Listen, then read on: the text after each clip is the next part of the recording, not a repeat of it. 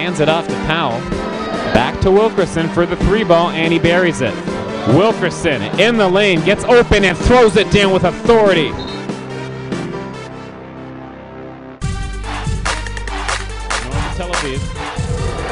Wilkerson makes his move. Nice spin and nice move by Tyler Wilkerson.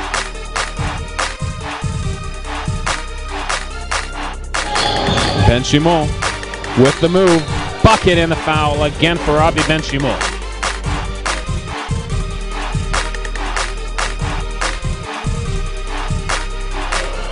Ben Shimon, big shot.